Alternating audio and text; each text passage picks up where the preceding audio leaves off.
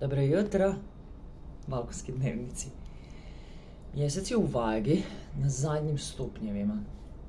Za par sati napravit će kvadrat sa Plutonom.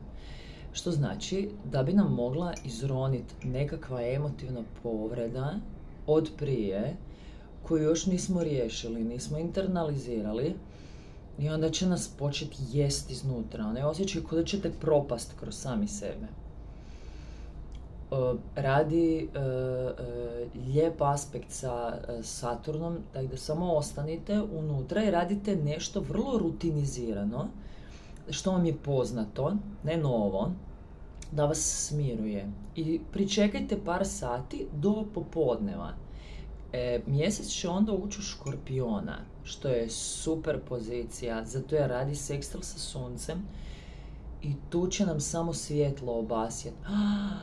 ja znam šta se desilo, znam čemu to meni služi i napravit će jednu konfiguraciju jod sa Marsom i Jupiterom. I to će biti ono over the top.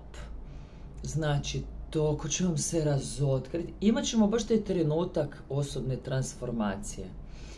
Ako imate neke u kardinalnim znakovima, pogotovo na kraju vage, ovna, raka, jarca, e, osjetit ćete to danas i samo nemojte reagirati u prvom dijelu dana, ono nema potrebe. Pustite da to emotivno prođe i onda će vam se danas navečer i sutra tokom dana sve otkriti. Ok, budite si dobri. Čujemo se, hvala vam.